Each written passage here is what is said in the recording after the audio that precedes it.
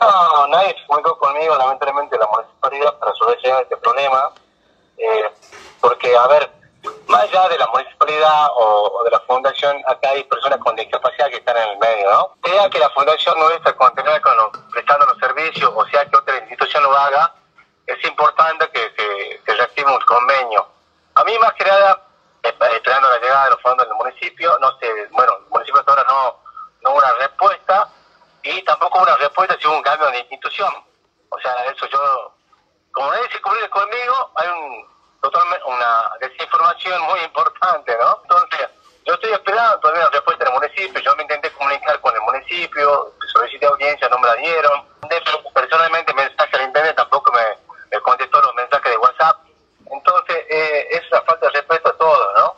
Entonces, tanto a la gente que iba a hacer el tratamiento, como a los mismos profesionales, porque los profesionales cobran una, un importe que es mínimo. Usted diría lo que cobra un profesional Salta Capital para hacer una sesión, estamos hablando alrededor de los mil, entre los 2.500 y 3.000 pesos. La fundación estaba cobrando a la, al municipio por chico entre 800 y 1.000 pesos por sesión, o sea, nada. Entonces, es que eso fue el convenio, la fundación no es sin fines de lucro. Nosotros no, yo no gano, digo, la fundación, mi cuenta están abiertas para hacer auditoría, las cuentas de la fundación están abiertas para hacer auditoría, yo no tengo ningún problema. Los legajos de cada chico están abiertos para hacer auditoría, si así se lo requiere.